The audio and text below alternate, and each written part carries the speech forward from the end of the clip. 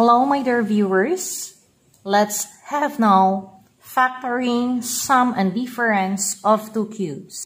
In finding the factors of sum and difference of two cubes, we should remember that there are two factors. The first factor is a binomial and the second factor is a trinomial. Let's have example number one.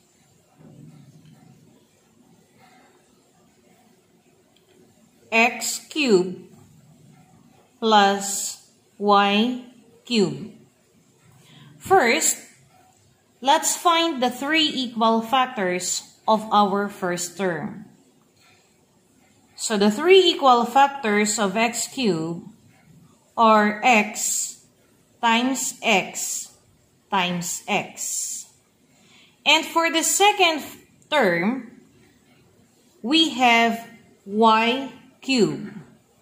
And the three equal factors of y cube are y times y times y. After getting the factors of each term, we can find now easily the factors of the two cubes. So, by using the first pair, x and y, we have now the first factor which is a binomial. So x and y. The question is, what is the operation of our binomial? Since the given is plus, our first factor should be plus. For the second factor, we are going to use now the second pair. So that is x and x. x times x, that is x squared. Then, let's use the third pair. So y times y is y squared. How can we get now the middle term of our trinomial factor? So, by using the first pair, x and y, multiply the two. So, x times y, that is xy. And since this is plus, the operation for the second factor should be minus and plus. And this is now our factors of x cubed plus y cubed. For example number 2, what if the given is minus? So x cubed minus y cubed. Again, let's find the factors of our first term. So the factors of x cubed are x times x times x. And for the factors of our second term, which is y cubed, are y times y times y. After getting the factors, we can get now the two factors of our given. So, let's use the first pair. Our first pair is x and y. So place it here, x and y. Since the given is minus, our first factor should be minus. And how about for the second factor, which is a trinomial? Let's use again the second pair. So x times x, that is x squared. And for the third pair, that is y times y equals y squared. And what will be our middle term here? Let's multiply again the first term. So x times y, we have xy. And since the operation of our first factor is minus, our second factor should be both plus. And this is now the factors of our y cubed minus of x cubed minus y cubed. For example, number 3. x cubed plus 27.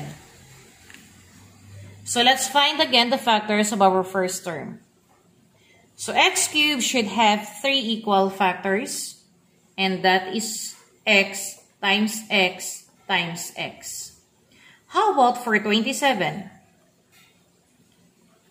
It should be three equal factors. Come to think of it,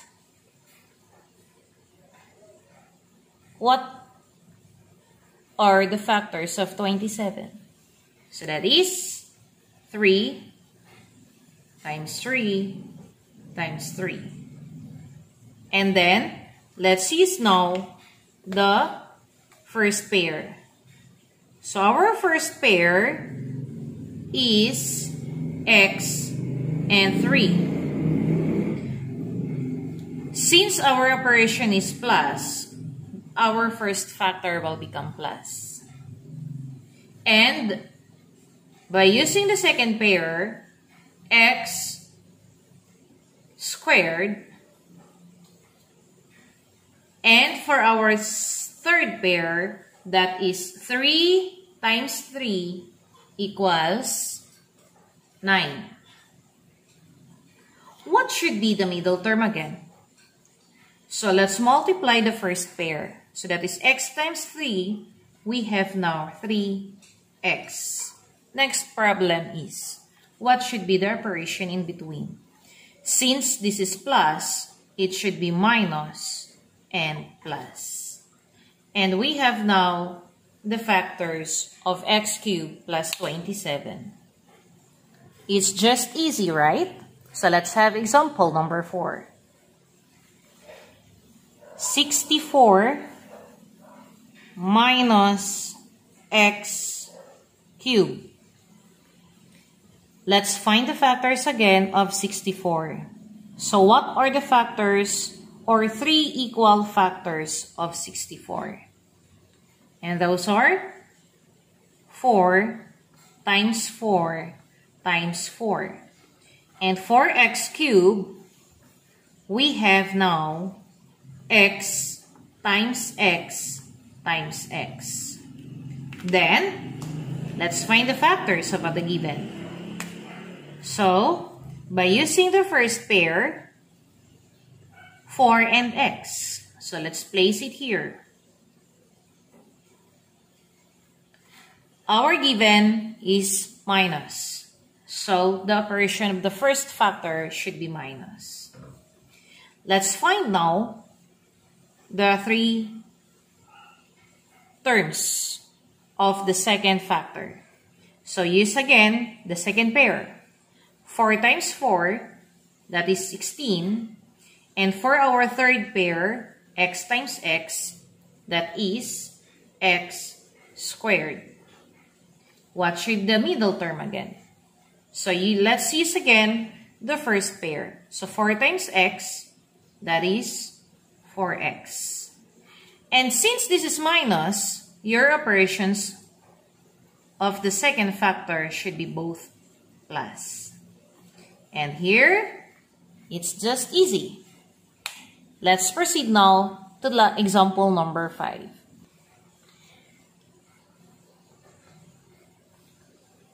Eight y cubed plus 125.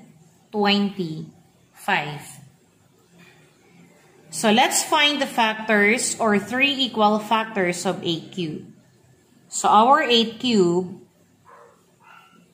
has factors of 2y times 2y times 2y. And for 125, the factors should be 5 times 5 times 5. After getting the factors of each term, we can find now the factors of the sum of two cubes. And by using the first pair, our first factor is 2y plus 5. And for the trinomial factor, let's multiply the second pair. 2y times 2y, so that is 4y squared. And for our third pair, 5 times 5, so that is 25. And what will be our middle term? Let's simply multiply the first pair. 2y times 5, we have 10y. And what should be the operation of our third or our last factor? Since this is plus, it should be minus and plus. And here we go. Done for the example number 5. Thank you for watching. I hope you learned from this lesson. Please subscribe and share it to your friends.